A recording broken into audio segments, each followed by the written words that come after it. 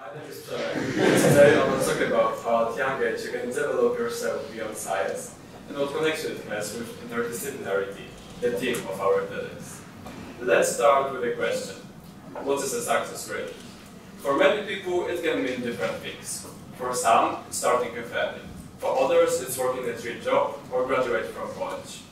For me, true success in life is being one of the best individuals in the field. It is hard, but where there's a will, there is a way. Alright, we've talked about success, so now let's connect it with interdisciplinarity. We will see why it's important to seek examples of successful individuals. So first one, Elon Musk. He exemplifies interdisciplinarity by bridging various fields, such as AI, electric vehicles, supersonic transportation, and space exploration. His companies such as Tesla, SpaceX, Neuralink, and the Boring Company encompass diverse area of technology, merging them into one unified vision of the future.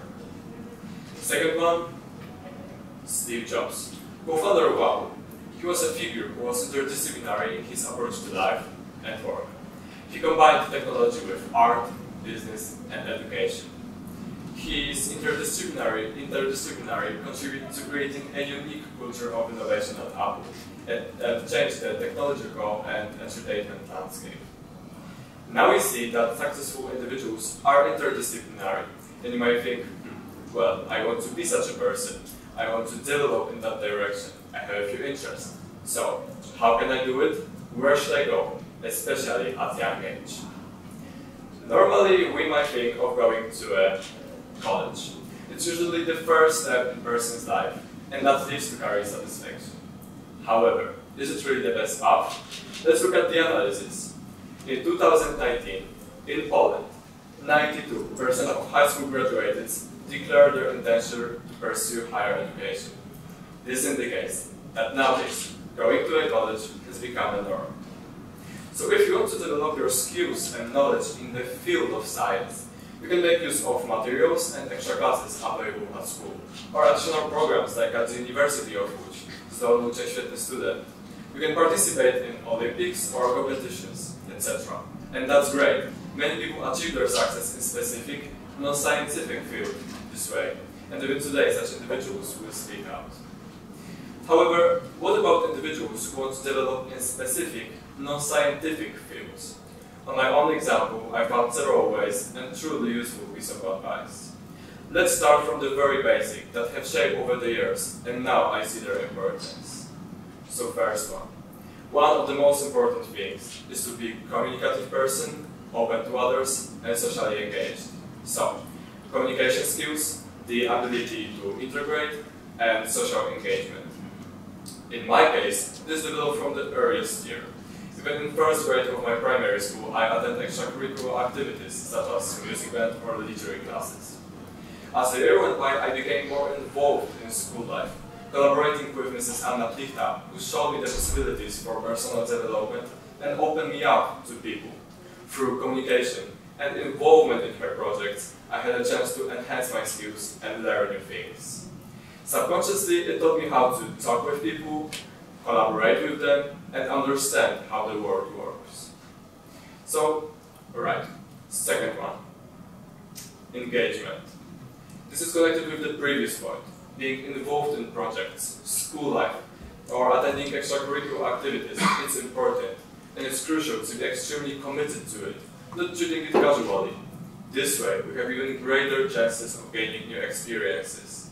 Just as in my case, involvement led me to the role of great first representative during the off-taking ceremony, or as a representative of music assembly during the award ceremony. I wasn't the best singer there, I was just extremely committed to it. It exposed me to additional new experiences at such a young age. However, that was a long time ago. Let's get into specifics. So if you're open to it, you are committed to what you do, here's what you can do. I will share it based on my own experience. I've always been passionate about music, particularly through school assembly and the music band. At the beginning, I only used to sing, but as the time went on, I noticed a certain instrument being played by our teacher, the keyboard. My parents signed me up for keyboard lessons, where I quickly developed my skills and became one of the top students. After a few years, I decided I want to take it a step further. So I enrolled in music school to learn to play the piano. I couldn't see a future or a goal in it for a long time. But one day, I spotted a profession of a sound engineer. I made my mind that after finishing my music school, I want to pursue development in that direction. And here we get to the heart of the matter. The opportunities for development in non-scientific fields at young age. So what were my possibilities? And what are your possibilities?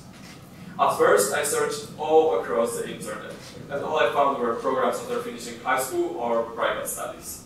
I wasn't happy about that, but I didn't give up. I talked to many people, got a lot of tips. Also, many people expressed interest in it, which turned out to be crucial. Eventually, I found weekend school in Łódź. However, there was a small problem. It was for individuals above 18 years old and those who graduated from high school. At that time, I was only 15 and in first grade. So, I thought for a while what I could do. And I wrote an essay to them, describing myself, what I do, and why I should attend. After a long time and many correspondences, it worked. Currently, I as an auditor. So, in this case, you have to ask yourself what you want to do. Then, find perfect place to develop. And don't be afraid to ask. It's really important. It has connection with my first piece of advice. Be communicative and open to others. Right. Second one. Search for your opportunities. Look around you.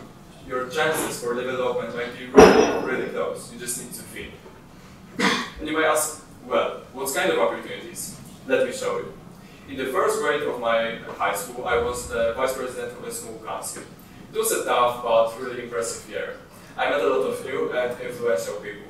Also, I learned a lot of new things.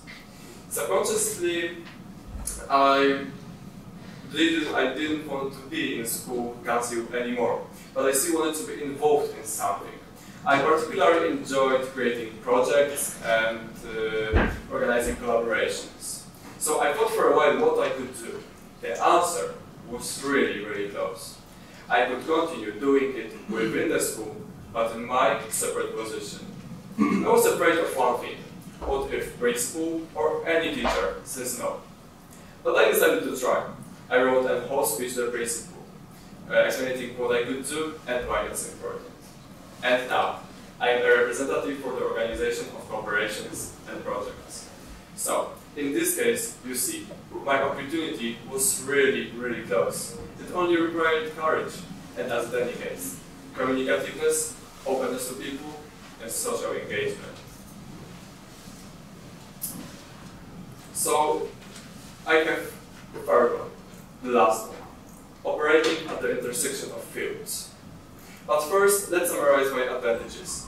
I have good knowledge in music, I am good at organizing uh, cooperations, project events, and so on. I am interested in economics, stock exchange, and business management. With that knowledge, I can do many things. Just look. Now with Karol Slaczko, the organizer of this event, I'm co-organizing an province economic conference. Here knowledge about music, uh, here knowledge about uh, economic, uh, organizing events or cooperations or promotion is incredibly vital. I'm also a representative of the PROMUZA Foundation, where knowledge of music, organizing events and projects, and business management is necessary. Now you see, everything you do can work for you at any time. You never know where you will be in a couple of years. So, search for your opportunities. They might be close, or they may, may not be any at the beginning. Don't be afraid to ask. Be open to others. And last, combine your knowledge from various fields and make use of it. With all of this, you have to be prepared that not everything will go smoothly. Institutions might not really care about you at all times, but you just can't give up and, and uh, keep trying to get there. Be prepared for make mistakes. In this case, just don't give up and quickly rectify them. Be ready for criticism and different opinions, but ask yourself if these people are trying harder than you. And last one, PR, public relations. So the way you present yourself, how you articulate your thoughts, and whenever you maintain neat appearance, it's really important. Well, I have one more thing. Just remember that even the smallest thing you do, it's important. In life, it's important to actions, not just with TV series all day long. That's all from me. Thank you.